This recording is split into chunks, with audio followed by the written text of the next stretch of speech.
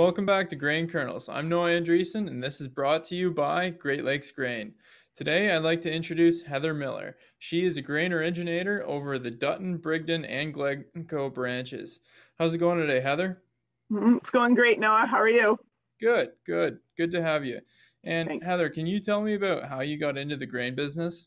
So I grew up on a small farrow to finish pork operation and um, I guess for me, I was much more excited to talk to people than I was to talk to pigs. There would have been an opportunity if I would have wanted to farm, but um, I was actually more interested in the crops. And um, luckily enough, when I was in grade 12 in high school, they had just started a cooperative education program. And so I participated in that program and I was able to actually uh, do my work term um, at a grain elevator and learn about uh, learn about the grain business. Um, it's pretty amazing today to look back and see how many years ago that was, all the things that have changed, but all the things that have stayed the same too. now, you have a lot of expertise. Can you give me your spin on the market today and some advice you might give to the farmer?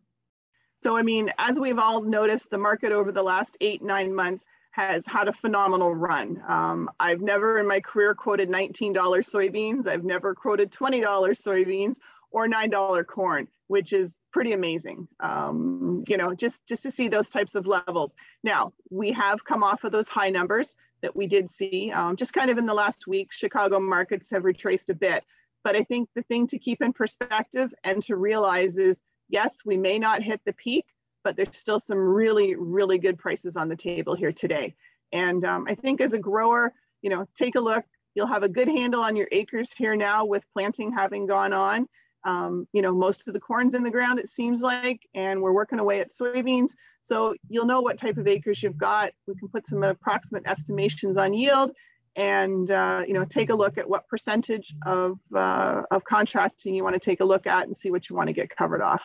And that'll be all for grain kernels today.